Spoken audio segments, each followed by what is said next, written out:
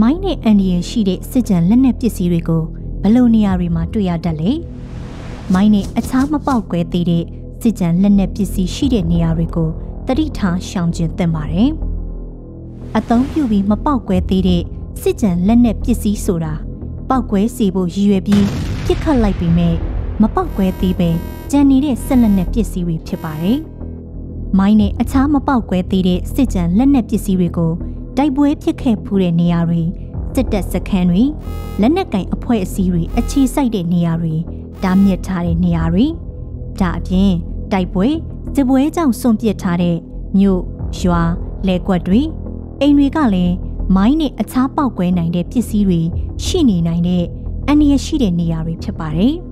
။နောက်ပြီးတပ်ပင်ကြီးတွေရဲ့ခြေရင်လူအများသိပ်အသုံးပြုလို့မရှိတဲ့လမ်းဟောင်းတွေဖြတ်လန်းတွေ စွန့်ပစ်ထားတဲ့စစ်တပ်သုံးရင်တွေနဲ့ပစ္စည်းကရိယာတွေလမ်းပခုံးတွေလက်နက်ကင်အဖွဲ့အစည်းတွေရဲ့ပစ္စည်းတူလောင်ယုံအဝင်လန်းတွေတရားတွေနဲ့အနီးတဝိုက်နေရာတွေမှာလည်းစစ်ရေးအရာအချက်အချာကျတဲ့နေရာတွေဖြစ်လို့မိုင်းထောင်ထားတတ်ပါတယ်။ဒါအပြင်လက်စစ်တာဝါတိုင်းတွင်ရွှေတွင်တတုတွင်တစ်ထုတ်လောက်ရာနေရာတွေကလည်းမိုင်းနဲ့တခြားမပေါက်ကွဲသေးတဲ့စစ်ကြံလက်နက်ပစ္စည်းတွေရှိနေနိုင်ပါတယ်။